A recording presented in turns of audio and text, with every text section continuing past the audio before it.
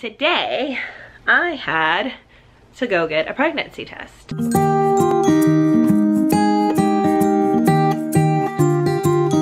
Hi guys, happy Wednesday! Um, I just want to kind of give you guys a quick little update on what's been going on. So, so far, no news today, just kind of like the same symptoms she's been having. And I thought I would vlog today because I figured this would be very interesting for those intended moms that are going through IVF or because they have a health problem and with like gestational carrier. So let's get down to it. Today I had to go get a pregnancy test. And for those of you that don't know, I will tell you. um, so the medication that I'm on for my pulmonary hypertension, I cannot get pregnant.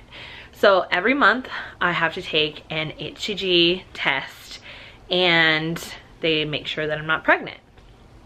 So it's so crazy that this week we actually have our beta for Angelica and we want that one to be positive, but on mine we want it to be negative because pregnancy, um, for those of you that don't know, um, there's like a 50% chance of mortality rate if I were to personally get pregnant, which is why we're doing gestational surrogates. So I just thought that was crazy and I was gonna bring my camera today, but last time I tried to film in inside of Quest, they were not too happy about that. So I didn't even try today. I just figured I would tell you guys what happened and kind of like my feelings around it. It's very weird um, that you hope that you're not pregnant, but that you hope that your gestational carrier is pregnant all in the same week and that you both are having blood pregnancy tests. Like think, wrap your mind around that.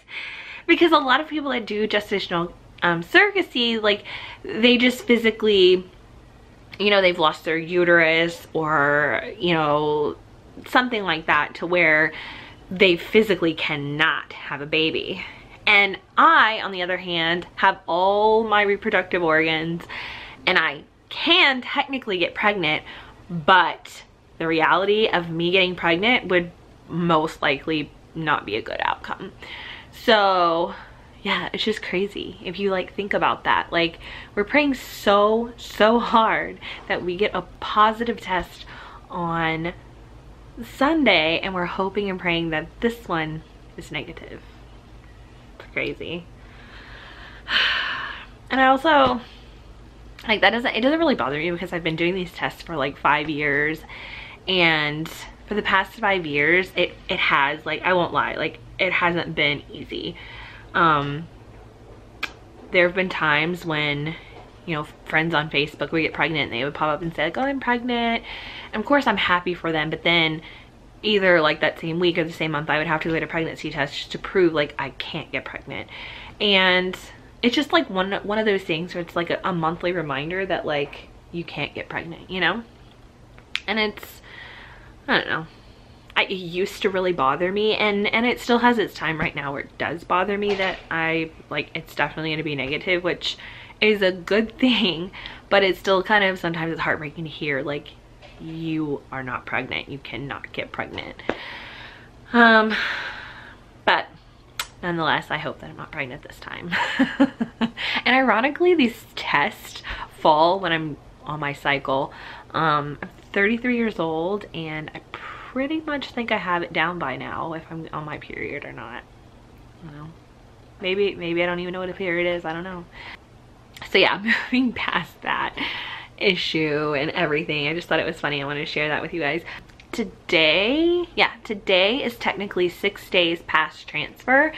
And um for some reason when i woke up this morning it was just i just had a lot of anxiety and i just couldn't figure out like what was going on. Like why now am i having more anxiety than i was before? And i think because it's like like, you know, one day past transfer, two days past, three days, four, five, six, seven, like you are like, okay, there's no way like we could ever be pregnant. And then now it's counting down to the, you know, where we can't, we could be pregnant.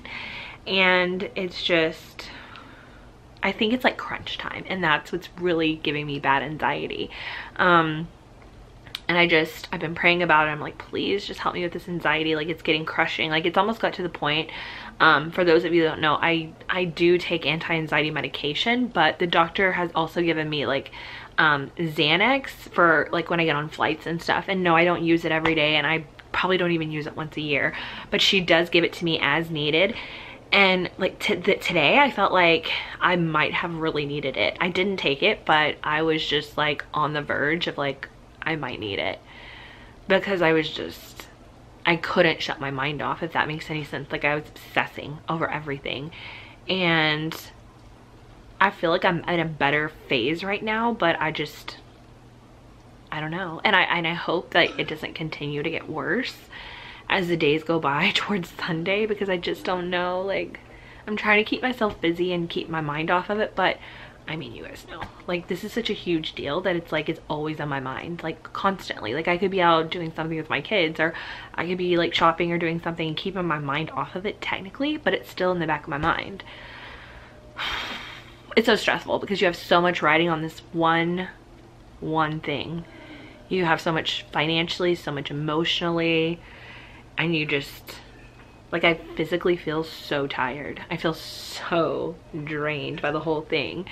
Um, a few days after the transfer, I was like, I just could sleep all day because I feel like my body is just so stressed out over everything, every little thing. And I'm not usually that kind of person. I don't usually stress over things, but I don't know. This is just such a big deal, you guys. I know you guys know that because you've been on this journey with me, but ah, a few more days, right? I can hold on just a few more days until we know, no, no.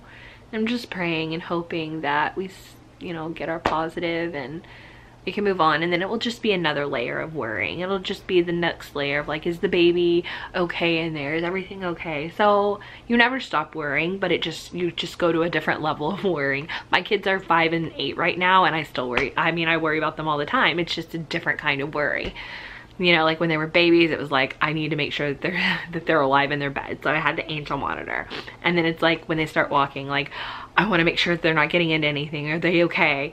And it's like you know you just have a different step of worrying depending on the phase of life that they're at. So i realized that. I realized like there's just always going to be a, a part of um, continuous worry. But i just feel at this phase it's like so fragile. Like everything is so fragile and I just, I think I just need to hear the words like pregnant. So yeah, anyways, I've been getting lots of messages from you guys that you're continuing to pray for me and our family. And I just like, I want to say thank you guys so, so, so much again. Um, hopefully I'll do another video tomorrow, maybe an update on any news, but yeah, go ahead and like this video, give it a thumbs up, go ahead and subscribe below to keep following this crazy journey and see if we get our big fat positive on Sunday. And yeah, hopefully I'll see you guys tomorrow, maybe? I don't know. We'll see. Check back. Bye.